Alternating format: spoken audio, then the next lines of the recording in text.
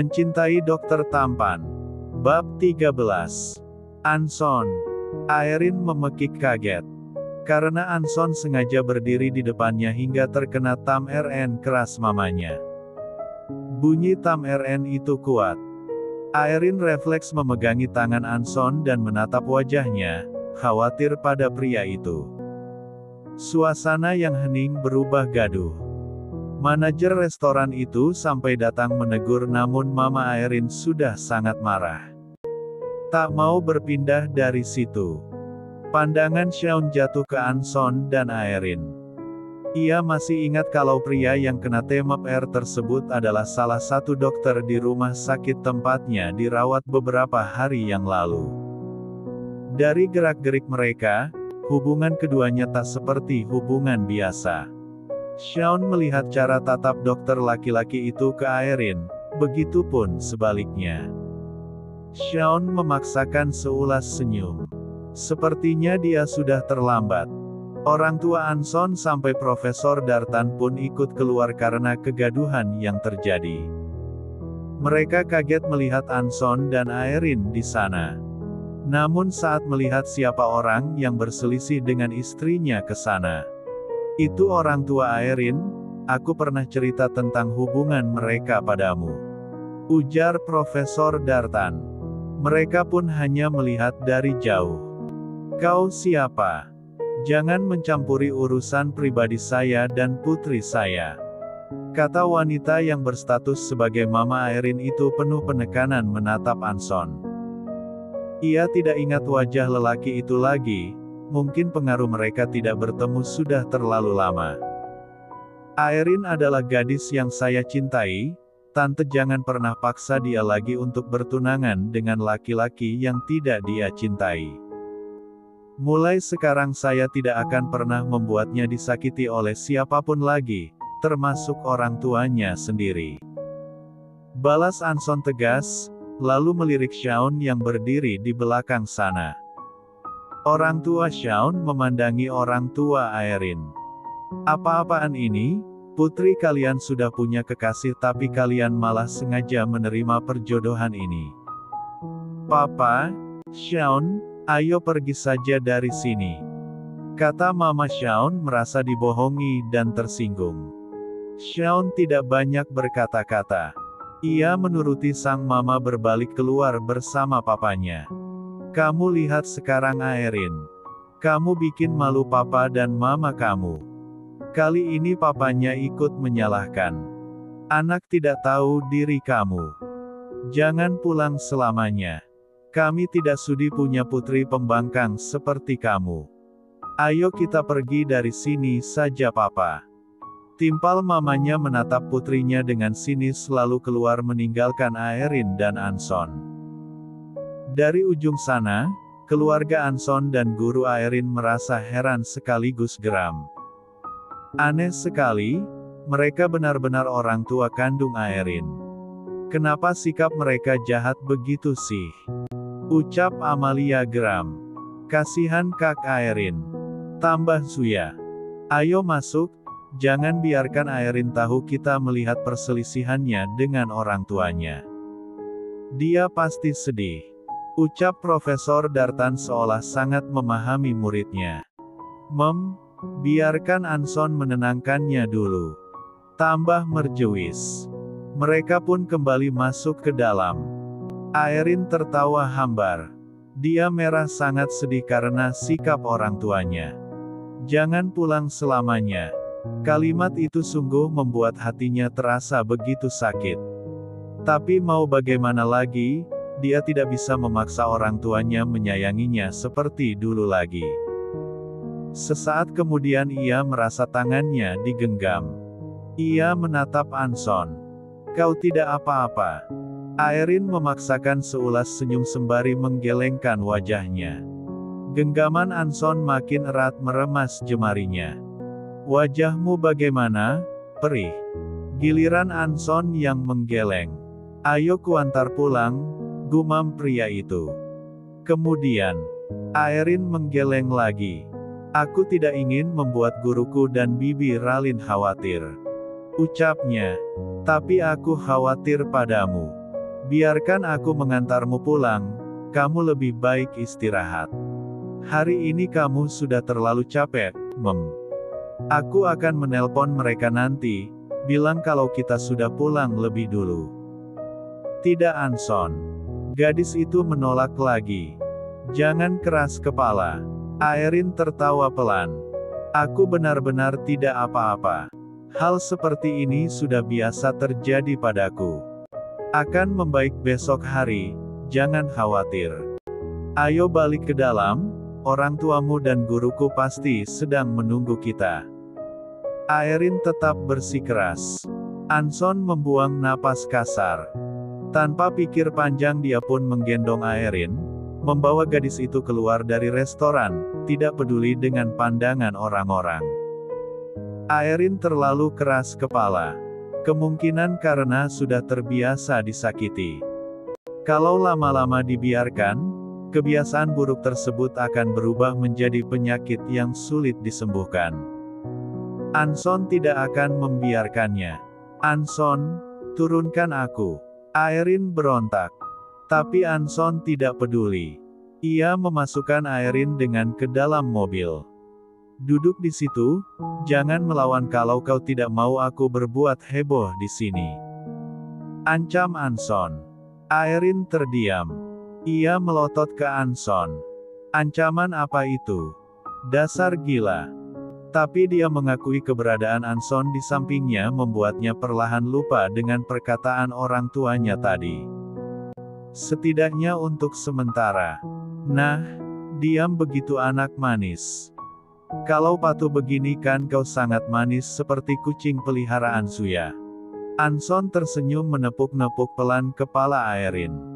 Pria itu sudah masuk dan duduk di bangku sopir. Aerin melemparkan tatapan sebalnya ke pria itu. Enak saja dia disamakan dengan kucing. Ia tidak sadar kalau Anson sedang mencoba mengalihkan dia dari pikiran sedih terhadap orang tuanya. Kap, Anson bahkan tidak segan-segan memberikan sambaran ringan di BBR Aerin. Ia sudah tahu kalau gadis itu masih ada rasa padanya. Andrea yang mengatakannya. Aerin sama sekali tidak tahu kalau kemarin dia diam-diam menghubungi Andrea. Awalnya Andrea memang tidak mau cerita. Namun Anson punya caranya sendiri. Meskipun Andrea tidak tahu sama sekali apa yang terjadi pada Kyle dulu, Sebagian cerita Aerin di masa kuliah dan mantan pacarnya Andrea tahu. Andrea cerita semuanya ke Anson.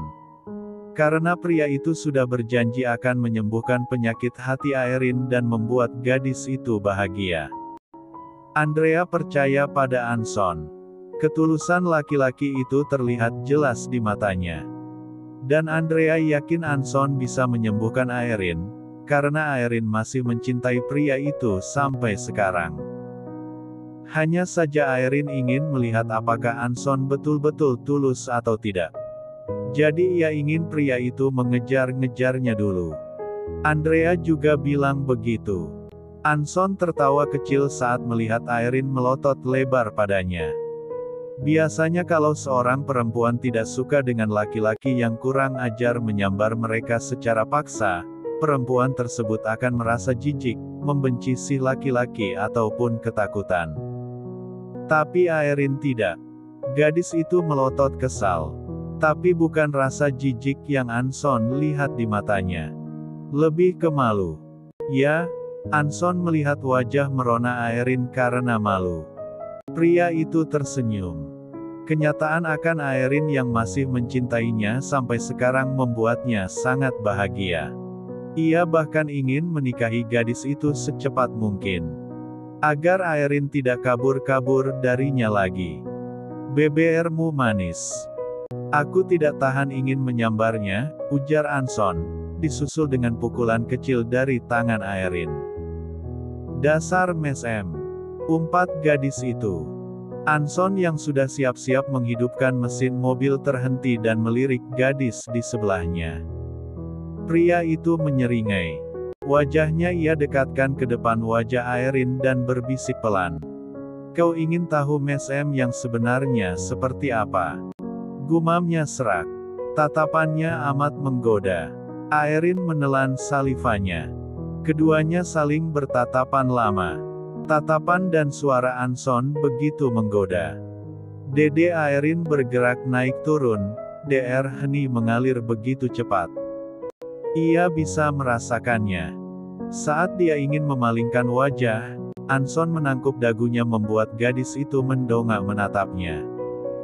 Sampai kapan kau akan menghukumku Hem? Aku tahu kau masih mencintaiku. Memangnya kau bisa tahan tiap kali aku menggodamu seperti ini? Kata siapa aku masih mencintaimu. Elak Airin cepat. Anson tersenyum. Memangnya tidak? Tanyanya. Mengelak saja terus. Lagi pula tidak akan mempan padanya. Dia punya seribu cara. Lalu wajah Anson turun dan sekali lagi memberikan sambaran di BBR Airin. Kali ini bukan sambaran pria itu menyambar beber bawa Airin dengan penuh perasaan yang dalam. Airin awalnya kaget.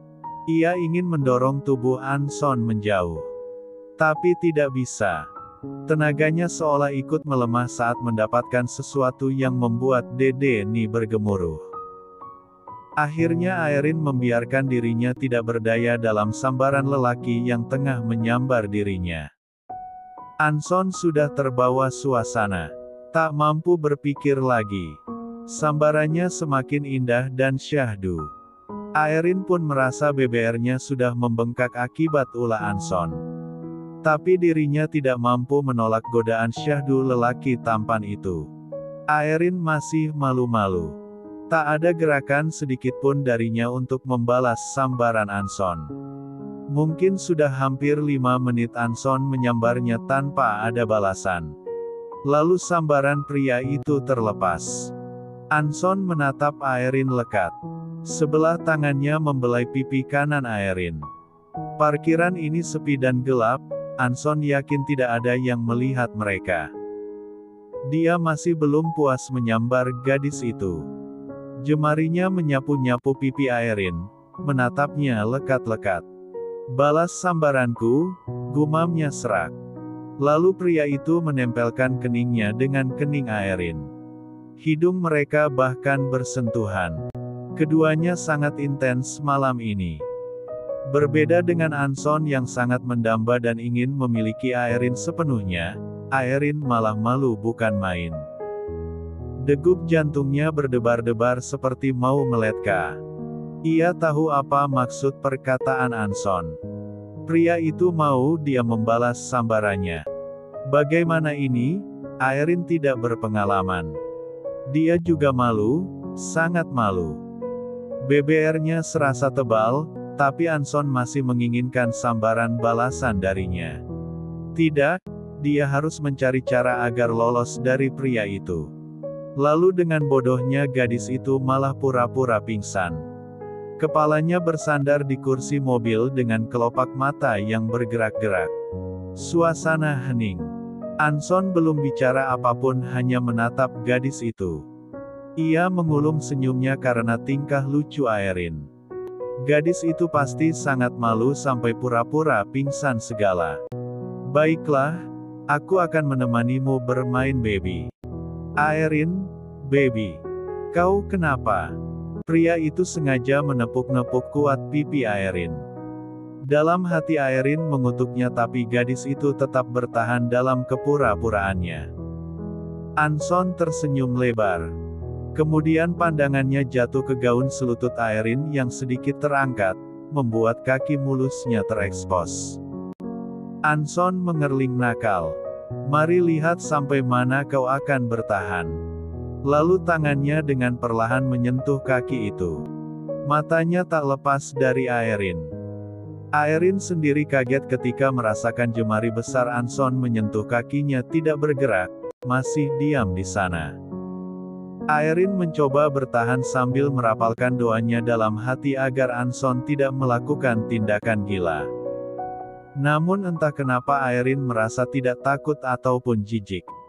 Padahal saat berpacaran dengan Din dulu, ia bahkan tidak pernah membiarkan Din menyambarnya karena dia jijik.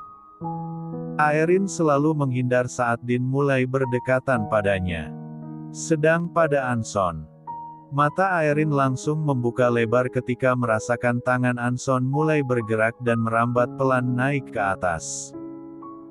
Gerakan tangannya begitu sensual hingga Aerin merasa geli sekaligus merasakan getaran cinta dan rasa syahdu yang menjalar dalam tubuhnya.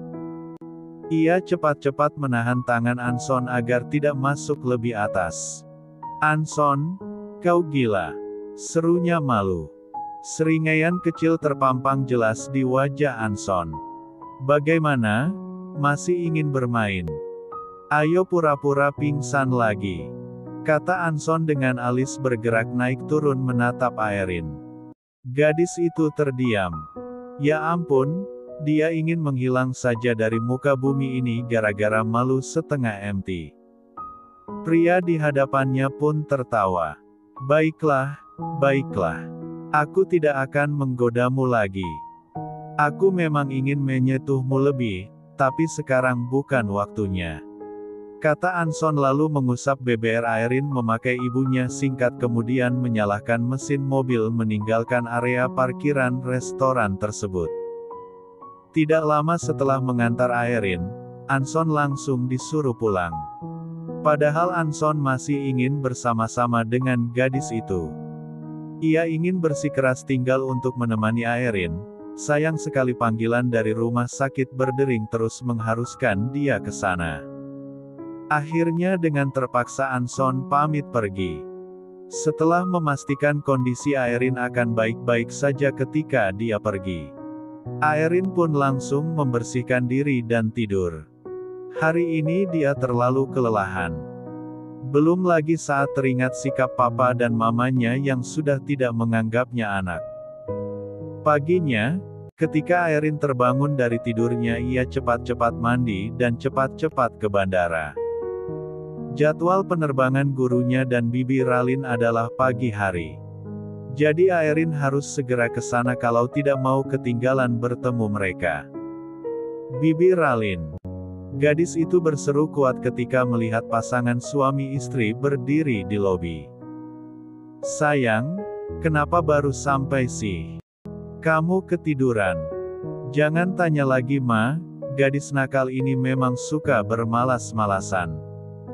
Sambung Profesor Dartan. Aerin tertawa. Lalu mendekat pada gurunya. Yang penting aku tetap datangkan guru besarku. Huff. Profesor Dartan sengaja membuang muka. Aerin saling bertukar pandang dengan bibir Ralin lalu tertawa. Terkadang pria tua itu memang sering bersikap begitu pada Aerin juga istrinya. Sesaat kemudian terdengar pengumuman keberangkatan ke negara tujuan pasangan suami istri tersebut. Mereka harus segera melakukan check-in. Sudah waktunya Airin. Bibi dan gurumu pergi dulu. Jaga dirimu baik-baik ya. Mereka kembali berdekapan.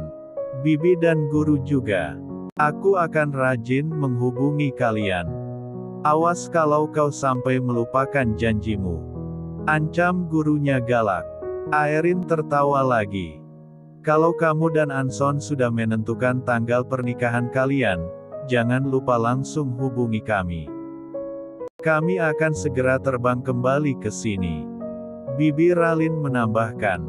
Perkataan Bibi Ralin pun sukses membuat Aerin terkejut. Aku menikah dengan dengan Anson. Ia menatap mereka terheran-heran. Pasangan suami istri di depannya saling menatap.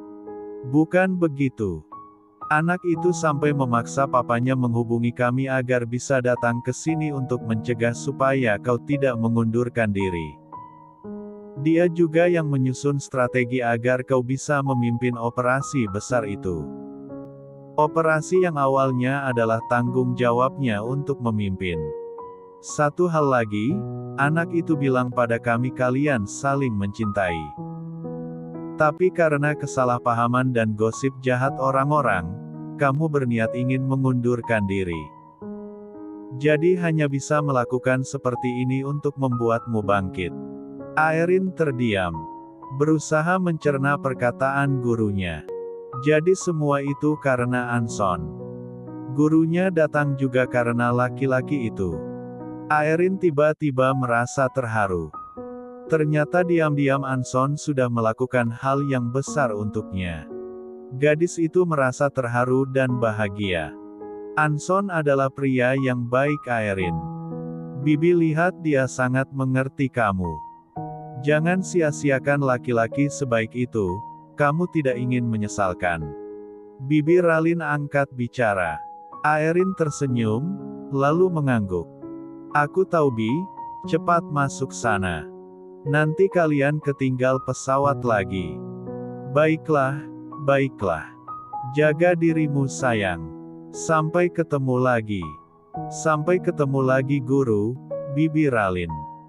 Gadis itu melambai-lambai ke mereka sampai pasangan tersebut menghilang di balik pintu masuk. Aerin bernapas lega. Ia langsung memikirkan Anson. Bahkan ingin melihat wajah pria itu sekarang. Abis dari bandara Aerin langsung ke rumah sakit. Tidak seperti hari-hari biasanya, kali ini rata-rata staf rumah sakit yang berpapasan dengannya mulai dari lobi sampai koridor menyapanya dengan ramah. Tapi Aerin tahu tidak semua dari antara mereka tulus. Ya, karena dalam dunia pekerjaan selalu saja begitu. Bahkan ada beberapa yang terang-terangan masih bersikap sinis padanya. Tapi Aerin tidak peduli. Yang paling penting adalah statusnya sebagai dokter sudah diakui. Dokter Aerin. Seseorang menyerukan namanya. Aerin berbalik. Dia baru mau naik ke bangsal VVIP tapi dua orang mengejarnya. Satu dari antara mereka membawa kamera besar. Seorang laki-laki. Aerin mengernyitkan kening. Wartawan. Kok bisa masuk sampai ke dalam sini sih? Setahu Airin wartawan atau media mana pun tidak diperkenankan masuk sampai ke dalam rumah sakit. Apalagi meliput berita. Anda dokter Airin kan? Tanya perempuan yang memegang mikrofone atau apalah namanya itu. Laki-laki di sebelahnya menyorot Airin dengan kamera. Terus terang Airin merasa terganggu. Saya dari Media X Corp ingin mewawancarai dokter terkait operasi Putri Menteri Luar Negeri. Bisa kasih waktunya dokter. Tidak sopan. Airin merasa mereka tidak sopan. Kalau mereka jurnalis terpelajar, bukan begini etikanya. Harus ada persetujuan antara kedua belah pihak dulu.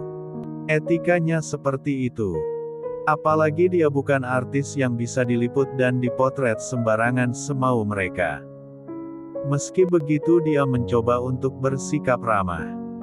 Maaf, silahkan hubungi bagian yang memiliki wewenang mengatur wawancara dokter. Di sini bukan tempat yang tepat. Saya juga sibuk, maaf ya. Sebentar saja dokter. Dengar-dengar Anda dipilih memimpin operasi karena Anda adalah murid dari Profesor Dartan. Guru besar dari kampus. Suara perempuan itu terdengar ngotot sekali. Maaf, saya harus pergi. Airin tidak menghiraukan mereka dan cepat-cepat memasuki ke dalam lift. Dua orang itu hampir ikut masuk bersamanya. Untung ada Logan yang cepat-cepat ikut masuk ke dalam. Hanya dengan tatapan, ia berhasil membuat dua orang yang ingin meliputnya tersebut bungkam. Dokter Aerin, sebentar saja. Yang perempuan masih ngotot. Kau tidak dengar dia bilang apa tadi? Perempuan itu terdiam. Mengerikan juga suara Logan sampai mereka tak bisa apa-apa. Pintu lift pun tertutup. Logan. Astaga. Aerin baru sadar. Hanya dia dan lelaki itu yang berada dalam lift. Suasana di dalam situ berubah menjadi canggung. Aerin mundur dua langkah dan bersandar di tembok lift. Ia memandangi Logan dari belakang. Pria itu berdiri lurus dengan kedua tangan setia di dalam sakunya. Aerin merengut dalam hati. Kenapa dia harus bertemu dengan laki-laki itu sih? Tapi kan mereka akan rajin bertemu nanti. Karena dia sudah kembali ke bangsal VVIP. Mungkin pria itu masih membencinya. Apalagi terakhir kali Airin main map air dia. Tapi ada yang aneh. Airin terus memandangi Logan dari belakang. Biasanya laki-laki itu akan langsung menghina dan bersikap ketus saat melihatnya. Tapi sekarang malah diam saja. Gadis itu langsung pura-pura sibuk melihat kuku-kukunya ketika Logan menoleh ke belakang. Masih hening beberapa detik. Aerin, lalu Aerin mendengar pria itu memanggil namanya. Aerin mengangkat wajah menatap Logan. Lelaki itu tidak terlihat seperti biasanya. Aku sudah dengar dari Andrea. Ucap pria itu. Dahi Aerin berkerut samar. Kejadian sebenarnya antara kau dan Din. Tentang Din yang hampir. Kalimat Logan terhenti. Aerin menahan napas. Rasa sedih, kecewa dan sakit hati mengingat perbuatan BT Din padanya dulu kembali memenuhi benaknya. Padahal Din adalah satu-satunya laki-laki yang dia pilih untuk melupakan Anson. Aerin tidak pernah bisa melupakan Anson bertahun-tahun ini. Namun dia bertemu dengan Din yang awal-awal bersikap sangat baik padanya. Aerin tidak lupa Din melakukan pendekatan padanya dengan cara yang sangat romantis. Waktu dia sakit karena orang tuanya, Din yang merawatnya. Ya, dulu Din sangat baik padanya. Walau Aerin belum bisa melupakan Anson waktu itu, tapi dengan kehadiran Din yang begitu lembut, baik hati dan sangat peduli padanya, dia pun memberikan kesempatan kepada dirinya dan laki-laki itu untuk memulai hubungan. Aerin ingin belajar mencintai Din perlahan-lahan. Sayangnya, sebelum cinta itu tumbuh di hatinya, Din sudah menyakitinya dengan cara yang amat menyakitkan. Aerin tersenyum hambar mengingat kisahnya dan Din yang menyedihkan. Aku minta maaf Aerin, gumam Logan. Aerin menatapnya. Aku, aku sudah sangat menyakitimu. Aku tahu kau sulit memaafkanku. Tapi aku tetap ingin minta maaf. Kalau tidak aku akan merasa bersalah seumur hidupku. Tutur Logan. Jelas sekali di wajahnya kalau pria itu merasa bersalah. Aerin menatap lelaki itu lama. Lalu tersenyum. Aku menerima maafku. Katanya kemudian. La ingat hubungannya dan Logan pernah baik dulu. Apa salahnya memaafkan? Toh manusia tidak ada yang sempurna. Semuanya memiliki kekurangan. Dia juga pernah jahat dulu. Meski alasannya agar orang-orang tidak bertindak semena-mena padanya, tapi perbuatan tersebut tetaplah tidak baik. Pengalaman pahit itu akan membuat mereka bertumbuh. Aerin percaya itu. Walau dia masih memiliki trauma terkait dengan meninggalnya sang kakak, Aerin juga ingin berubah. Dia ingin sembuh. Biar saja orang tuanya meremehkan dia, karena dia yakin suatu hari mereka pasti akan membutuhkannya.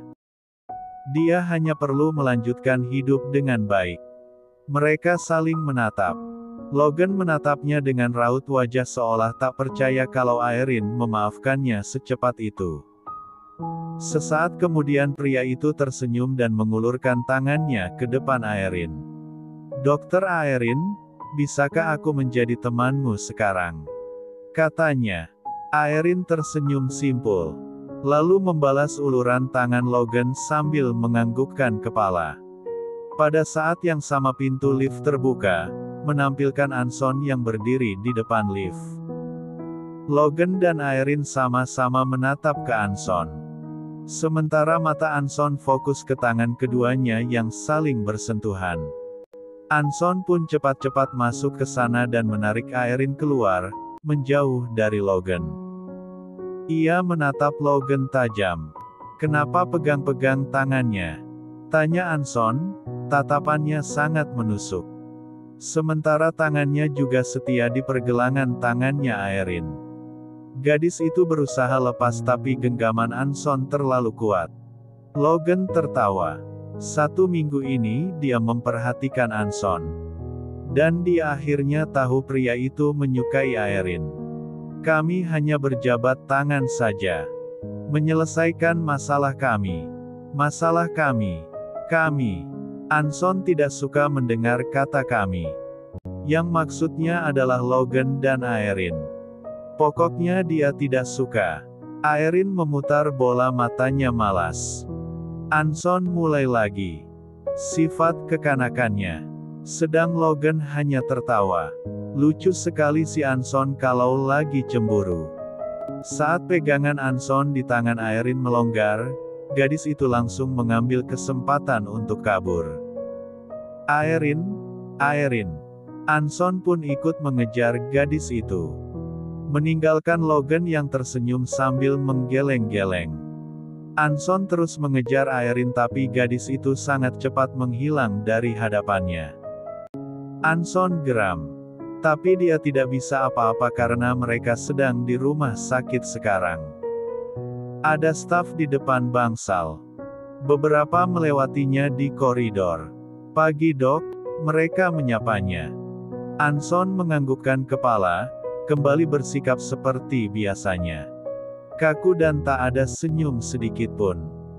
Ketika ia memasuki ruangan, gadis yang dia kejar tadi tidak ada. Di mana dia? Belum masuk ke sini. Padahal jelas-jelas Anson lihat Airin tadi masuk ke sini. Dia sudah berniat untuk bertanya ke Andrea namun pintu terbuka, dan Airin masuk. Diikuti oleh Logan dari belakang. Percayalah, hanya Logan dan Aerin yang tahu arti tatapan Anson saat ini. Aerin menertawai Anson dalam hati. Sikap cemburu laki-laki itu di matanya tampak jelas, dan Aerin menikmatinya. Biar saja. Lagi pula ini adalah hari terakhirnya ingin membuat pria itu berhenti mengejarnya. Ya, Aerin sudah memutuskan. Dia akan menerima cinta Anson. Tidak mau lama-lama lagi. Dia percaya sekarang kalau pria itu benar-benar tulus padanya. Hati nuraninya mengatakan itu. Jadi selama beberapa jam ini, biar saja laki-laki itu kesal padanya. Aerin. Seruan Andrea memecah keheningan yang terjadi beberapa saat dalam ruangan itu. Semua anggota tim berada di sana.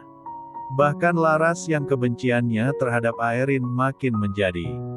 Selain Laras, semua tampak menyambut kehadiran Aerin kembali. Dokter Aerin, selamat atas kesuksesan operasinya. Kami menyambut dokter kembali ke tim ini dengan senang hati. Kali ini dokter Mawar yang berseru. Yang lain ikut mengangguk dan memberi tepuk tangan pada Aerin. Suasana dalam ruangan itu terdengar cukup riuh. Aerin tersenyum cerah pada semuanya. Akhirnya ia bisa merasakan penerimaan. Meski masih ada beberapa yang mencibirnya, seperti Laras. Aerin bisa melihat dengan jelas bahwa Laras sangat terpaksa bertepuk tangan dan wajah tidak senang saat menatapnya. Tapi Aerin tidak peduli. Toh Laras sudah memusuhi dan membencinya dari zaman mereka kuliah dulu. Akan aneh kalau sekarang dia tiba-tiba baik. Aku sudah menyiapkan tempat dudukmu di sana, kata Anson maju selangkah ke dekat Aerin. Tatapannya lekat. Anson hanya bisa menahan diri untuk tidak menarik Aerin dan bicara berdua dengan gadis itu. Menghukumnya karena sudah berhasil membuatnya kesal setengah MT hari ini. Pakai dekat-dekat Logan lagi. Memangnya mereka dekat. Mereka kan bermusuhan. Sampai pegang-pegang tangan di lift tadi maksudnya apa? Saking cemburunya Anson sampai tak bisa berpikiran jernih. Harusnya dia tahu Logan dan Irene sebenarnya tidak berpegangan tangan. Mereka hanya berjabatan tangan saja. Baiklah, terima kasih Dr. Anson. Kata Airin membalas ucapan Anson dan segera berjalan ke meja yang pria itu tunjuk tadi. Meletakkan beberapa bawaannya di sana. Dia melewatiku begitu saja. Huh. Anson yang tambah kesal berbalik masuk ke ruangannya. Logan, Masuk ke ruanganku sekarang juga. Katanya menatap Logan lalu melanjutkan langkah. Orang-orang di dalam sana heran dengan perubahan Anson. Padahal tadi lelaki itu tampak baik-baik saja, namun saat masuk tadi dia terlihat sangat kesal. Dokter Anson kenapa ya? Tiba-tiba wajahnya kayak orang kesal begitu. Kata perawat bernama Andin heran. Andrea menatap ke Aerin. Melihat Aerin yang senyum-senyum, Andrea langsung bisa menyimpulkan penyebab kenapa Anson kesal begitu. Selain Andrea, ada Laras yang menatap Aerin dengan ekspresi yang berbanding terbalik dengan Andrea. Pandangan penuh rasa iri. Apalagi melihat Aerin begitu senang sekarang. Karena banyak orang di rumah sakit ini memujinya sekarang. Laras tersenyum sinis lalu keluar dari ruangan itu. Ia tidak tahan mendengar kalimat-kalimat pujian yang jelas ditujukan ke Aerin. Ada apa antara kau dan Aerin? Kenapa kalian berpegangan tangan? Bukankah sudah kuperingatkan padamu jangan ganggu Aerin lagi? Sembur Anson memberi tatapan mematiknya ke Logan. Logan terkekeh. Siapa yang pegang tangan? Kami hanya bersalaman saja, tidak lebih. Kau saja yang terlalu cemburuan sampai salah lihat. Balasnya santai. Lalu kenapa kalian bersalaman? Tatapan Anson masih tajam. Karena tadi aku minta maaf padanya. Kau sendiri tahu pandanganku tentang dia selama ini salah dan aku sudah sangat menyakitinya. Kalau aku tidak minta maaf, Aku tidak akan pernah tenang. Ah benar. Anson sampai lupa sebelumnya kalau Logan suka sekali merendahkan Aerin. Saking fokusnya dia mengejar gadis itu. Kau yakin tidak ada perasaan pada Aerin? Tanyanya memastikan. Aerin itu cantik, pasti banyak pria yang mengincarnya. Tidak, tidak. Anson harus segera menjadikan Aerin miliknya. Sedang Logan tertawa. Kau tenang saja. Aku tidak akan merebut milikmu. Katanya. Anson mengernyitkan kening terus menatap pria itu. Aku tahu kau sedang mengejar Aerin. Andrea sudah cerita. Dan dari caramu menatapnya tadi, aku pikir kau memang sudah tergila-gila pada gadis itu. Kata Logan. Kali ini Anson pun ikut tersenyum seperti orang bodoh. Memang benar kata Logan. Ia juga tidak tahu kenapa. Mungkin ini karma karena dulu dia sangat kejam pada gadis itu. Dia keluar, Anson mengikuti arah pandang Logan. Aerin sudah sampai di pintu keluar di depan sana. Anson pun tanpa pikir panjang ikut keluar, mengikuti Aerin. Pria itu berpikir Airin akan ke toilet atau memeriksa pasien. Ternyata tidak. Gadis itu naik ke arah atap rumah sakit. Anson tersenyum menang, seperti mendapat jackpot. Ia terus berjalan mengikuti Airin sampai ke atas atap. Namun saat mencapai tempat itu, gadis yang diikutinya tiba-tiba menghilang entah ke mana. Pandangan Anson menyapu seluruh tempat, mencari-cari keberadaan Aerin. Sesaat kemudian pria itu dikagetkan dari belakang. Punggungnya ditepuk kuat hingga Anson sampai kaget. Ekspresi kagetnya membuat si pembuat ulah tertawa keras. Pria itu pun berbalik dan mendapati Aerin sudah berdiri di depannya. Aerin tertawa ngakak melihat ekspresi lucu Anson.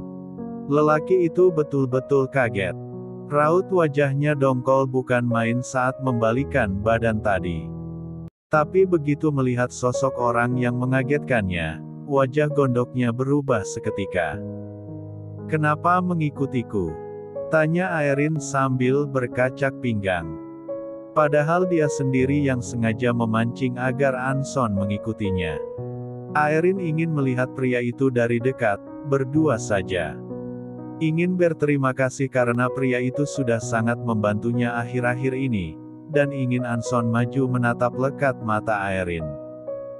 Lalu dengan gerakan cepat ia sudah menarik pinggang Aerin hingga tubuh mereka saling menempel.